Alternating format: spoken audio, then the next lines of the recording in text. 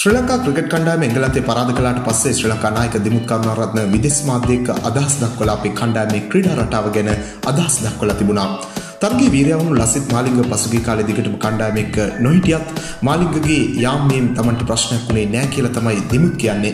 මාලිංග නැන්දාගේ මලගෙදරට ගිහින් ඇවිත් නැවතත් දානයටත් ආපු එක ගැන ක්‍රිකට් ලොක්කෝ අසතුටින් කතා කළත් මාලිංග වෙහෙස බලන්නේ නැතුව සෙල්ලම් කරන නිසා මාලිංග ලංකාවට ඇවිත් ගිය එක Tamanට නම් ප්‍රශ්නයක් නෑ කියලා තමයි ශ්‍රී ලංකා ක්‍රිකට් නායක දිමුත් කියන්නේ.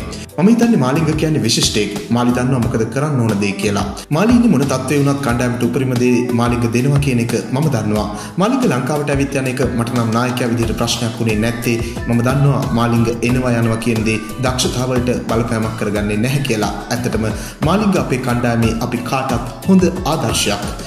එංගලන්තය කියන්නේ ප්‍රබලම කණ්ඩායම වුණත් එංගලන්තය පරාද කරන්න පුළුවන් කියන විශ්වාසය Tamanට තිබුණා කියලා තමයි දිමුත් කියන්නේ.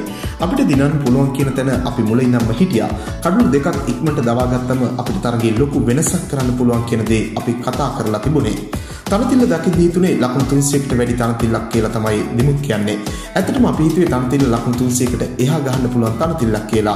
මුලදී පන්දුව පිටතට ආවත් පන්දුව අර කිහිපයක් යද්දී පෙනුනේ තනතිල්ල එන්න එන්න ස්ලෝ වෙනවා කියලා. ඒ වගේම පන්දුව පහතිනුත් ආවා. තනතිල්ල හැසිරෙන විදිය ගැන මැතිව්ස්ට හොඳ අවබෝධයක් තිබුණා. එයා තනතිල්ල ගැන අනිත් අය දැනුවත් කළා. ලකුණු 280ක් 300ක් හොඳ ලකුණු ගානක් කියලා තමයි අපි හිතුවේ. පස්සේ තේරුණා ලකුණු 240ක් 250ක් තරගයක් දෙන්න පුළුවන් ලකුණු ප්‍රමාණයක් කියලා. මම හිතන්නේ මැතිව්ස් තමයි අපිට ඉන්න හොඳම ෆිනිෂර්. අමාරු තනතිල්ලේ මැතිව්ස් කණ්ඩායම වෙනුවෙන් ලොකු දෙයක් කළා.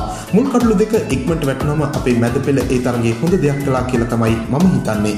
තරගවලේ ඉදිරියගෙන ලොකු දෙයක් හිතලා නැහැ කියලා තමයි දිමුත් කියන්නේ.